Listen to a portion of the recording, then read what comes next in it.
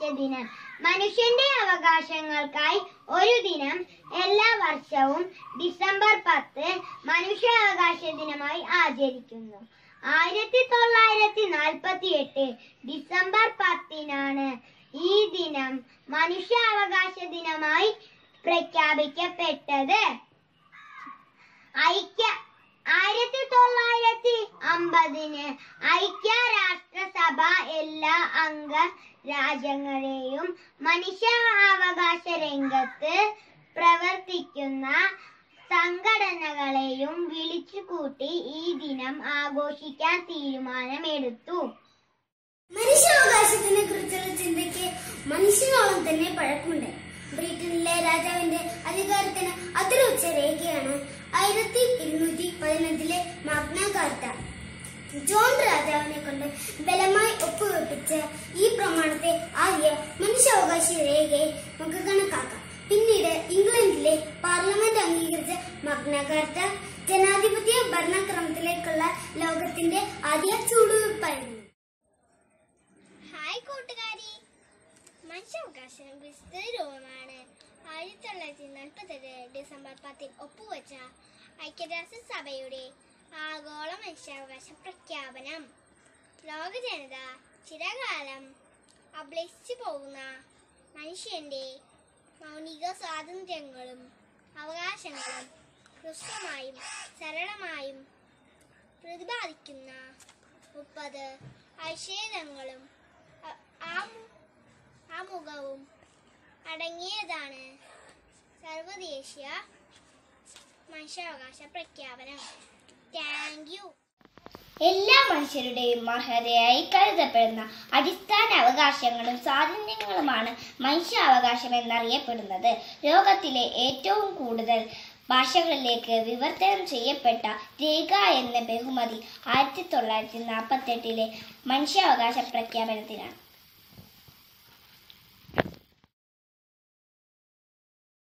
മനുഷ്യാവകാശങ്ങൾ മനുഷ്യരെല്ലാവരും തുല്യ അവകാശങ്ങളോടും അന്തസ്സോടും സ്വാതന്ത്ര്യത്തോടും കൂടി ജനിച്ചിട്ടുള്ളവരാണ്.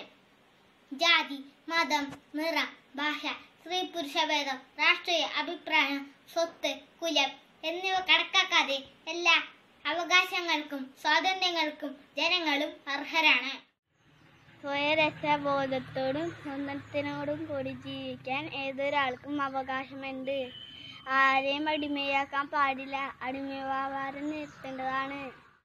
ക്രൂരവും മനുഷ്യത്വ രഹിതവുമായി ആരോട് പെരുമാറുന്നത് അത്തരത്തിലുള്ള ശിക്ഷകൾ നൽകാനും പാടില്ല.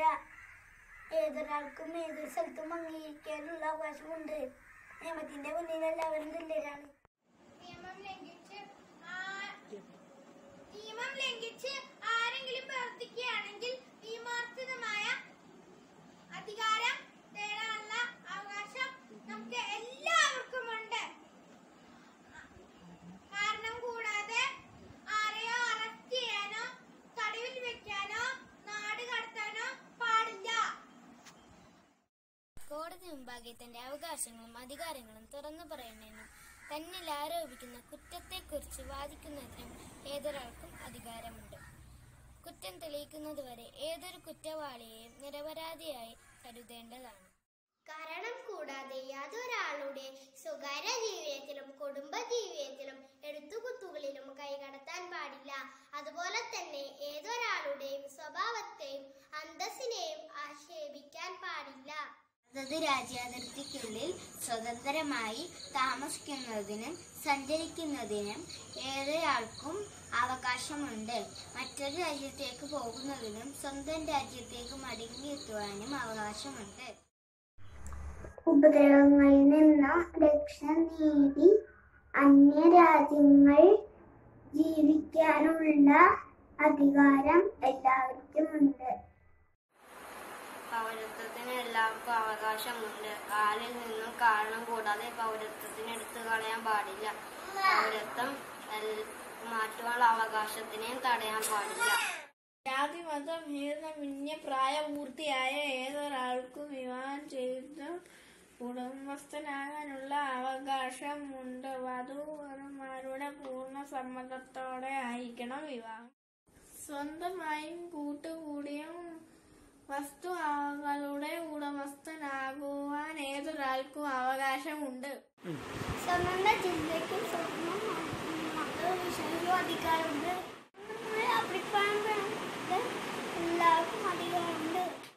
സമാധാനപരമായി യോഗം ചെയ്യുന്നതിന് എല്ലാവർക്കും അധികാരമുണ്ട്. ഒരു പ്രത്യേക സംഘത്തിൽ ചേരുവാൻ ആരെയും നിർബന്ധിക്കുവാൻ പാടില്ല.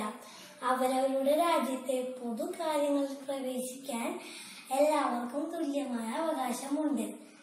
ജനഹിതമായിരിക്കണം ഭരണാധികാരത്തിന്റെ അടിസ്ഥാനം.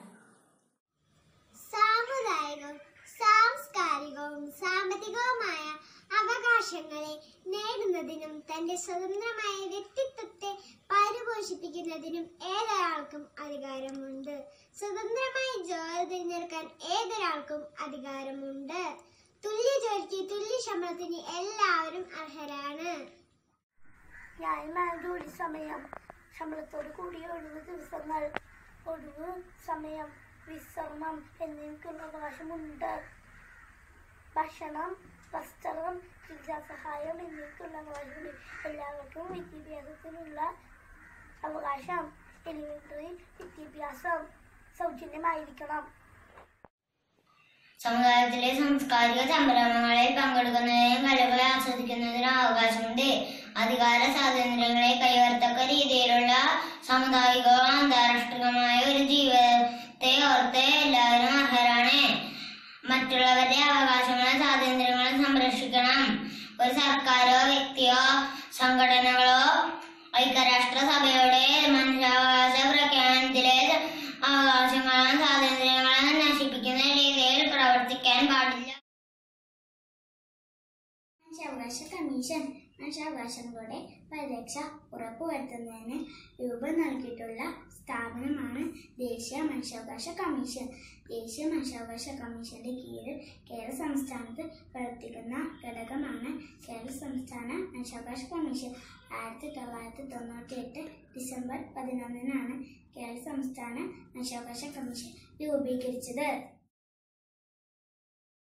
മനുഷ്യാവകാശ കോടതി മനുഷ്യാവകാശങ്ങളുമായി ബന്ധപ്പെട്ട കുറ്റം മാത്രം കൈകാര്യം ചെയ്യാൻ പ്രത്യേക കോടതികൾ പല സംസ്ഥാനങ്ങളിലും നിലവിൽ വന്നിട്ടുണ്ട്. ഒരു സെഷൻ ജഡ്ജിയെ അത്തരം കേസുകൾ കൈകാര്യം ചെയ്യാൻ പ്രത്യേകമായി നിയോഗിക്കുന്നു. നമസ്കാരം.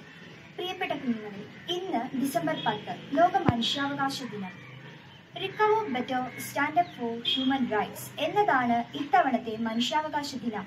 പ്രമേയം സാർവദേശീയ മനുഷ്യാവകാശ പ്രഖ്യാപനം യു എൻ അസംബ്ലി അംഗീകരിച്ചതിന്റെ ഓർമ്മ ദിനമാണ് ഇന്ന്.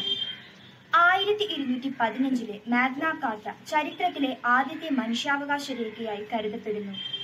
ജനാധിപത്യ ഭരണക്രമത്തിലേക്കുള്ള ആദ്യ ചുവടുവയ്പായിരുന്നു മാഗ്ന കാർട്ട.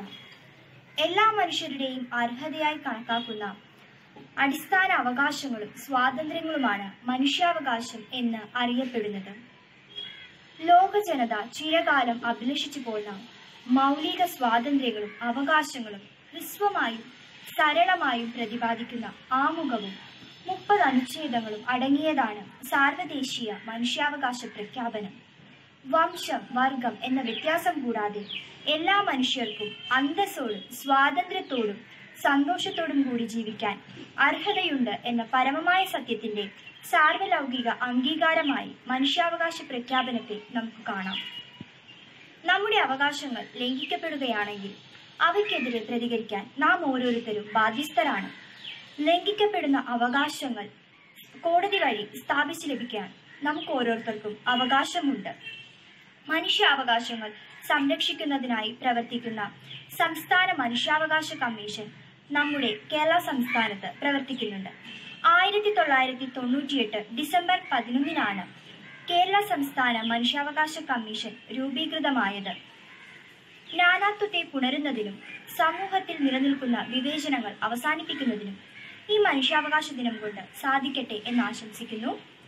നന്ദി നമസ്കാരം.